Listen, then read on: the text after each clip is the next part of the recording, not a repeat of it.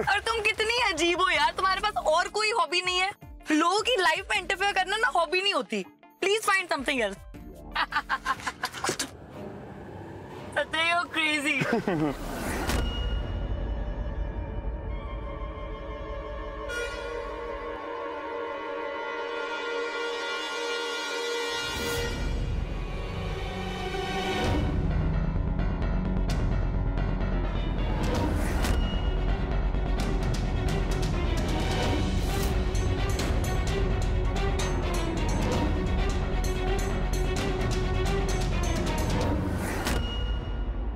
I love what lovelies ये चिपकली तो गाड़ी के पेपर देख रही है।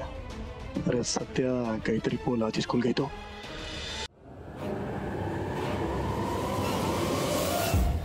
ये तो कार के पेपर्स रितेश खन्ना? कहीं ये गाड़ी? ये गाड़ी तो चोरी ये गाड़ी चोरी की अभी क्या है कि जासूसगिरी अगर करनी है ना तो सीधा पूछ लेने का। मैं बता देता तुम्हें गाड़ी चोरी की है। पेपर पेपर देख रही है गाड़ी के। देखा तुमने? चोर कहीं का। I know aunty you don't have a life but manners how can you do this तुम लोगों की गाड़ी के पेपर चेक कर रही हो। प्लीज़ प्लीज़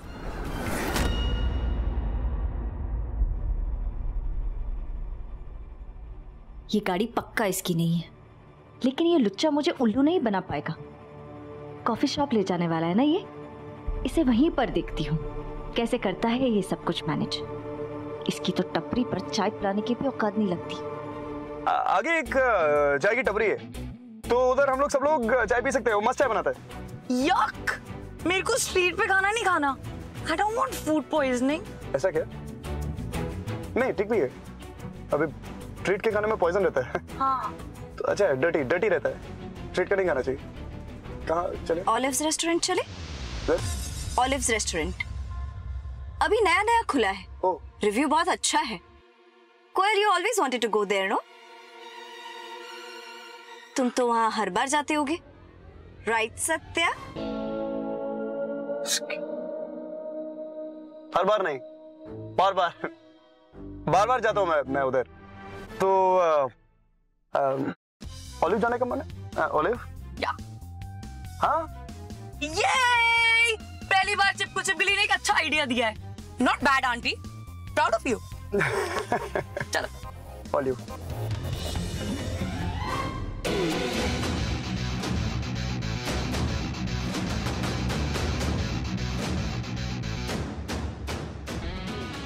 एक नंबर का झूठा है ये आदमी। देखते हैं आज इतने एक्सपेंसिव रेस्टोरेंट पे कैसे पैम्पर करता है कोयल को। आज के आज मैं इसकी असलियत निकालवा लूँगी।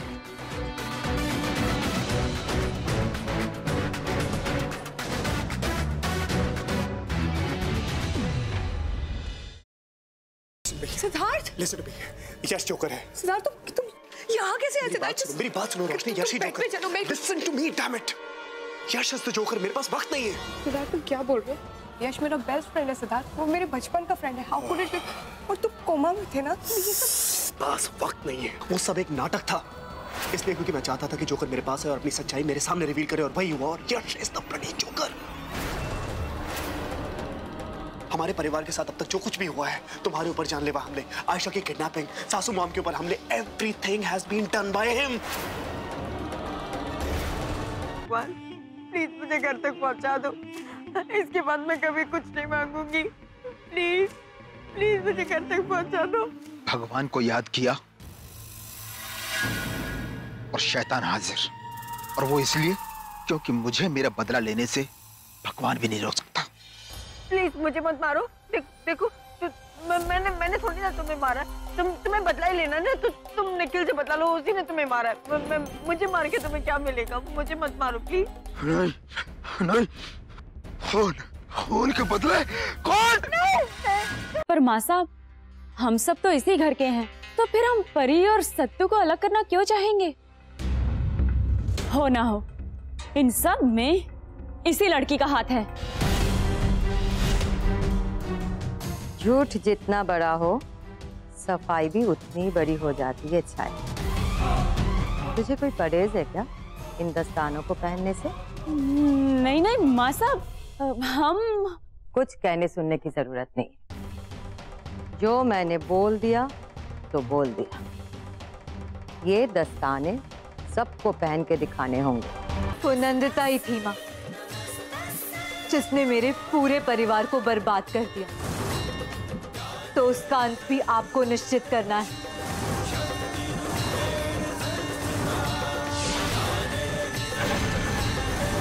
जिस तरह इन पापियों का विनाश किया है आपने, उसी तरह नंदिता का भी आज ही विनाश हो जाए